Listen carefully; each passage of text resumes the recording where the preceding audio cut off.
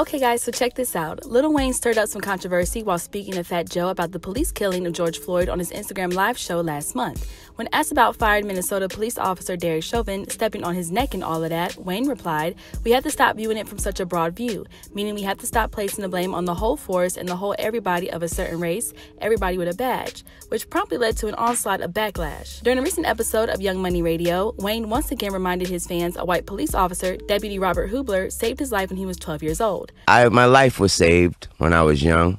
I was uh like 12 or something, I think. Shot myself I was saved by a white cop, Uncle Bob. So you have to understand from therefore you have to understand the way I view police, period. I was saved by a white cop. There was a bunch of black cops jumped over me when they saw me at that door laying on the floor with that hole in my chest. He refused to. Those black cops jumped over me and ran through the crib and said, We found the gun. We found this. We found that. He said, I found this baby on this floor. I need to get to a hospital. He didn't wait for an ambulance. He took his car. He made somebody drive it. And he made sure that I lived.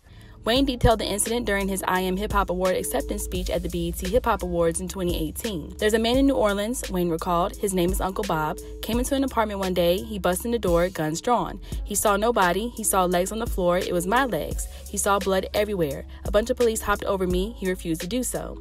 I never knew. I talked to him the other day. I never knew EMS was on the scene. He said EMS tried twice and they told him there's nothing. He refused to let that die. Forget an ambulance. He brought me to the hospital himself.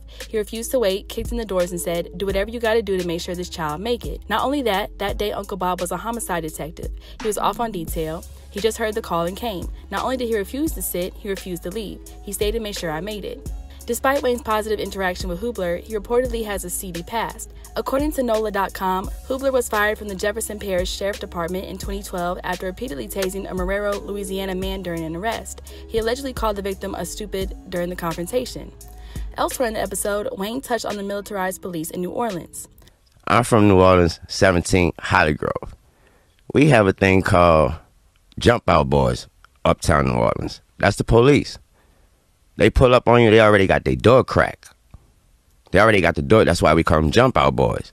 Cause soon as they, they you might think that's just a police car driving up the block. Nah, they about to stop, boom, and they they they about they like it look like you ever seen a clown car when a clown could pull up in a, a, small car and like thirty of them get out the car, like thirty. Cl- that's how it be. Like a one small police car pull up, but they got the door, both doors crack on both sides.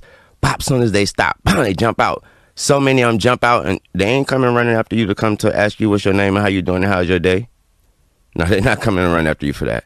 They don't have the door cracked for nothing. And it's not like they was run. They're not driving into a, a war or nothing. They're just driving into a neighborhood. Why they have to? Why the doors need to be cracked? I'm not sure. But that's what we grew up going through. Things like that. So when I say you want to speculate about me, consider that as well. Consider I, I've witnessed these type of things. Like this is what I witnessed what I grew up seeing and what I, you know what I mean? So, what do you guys think? Y'all still canceling Lil Wayne? Y'all think he's against black people? What do you think is his issue?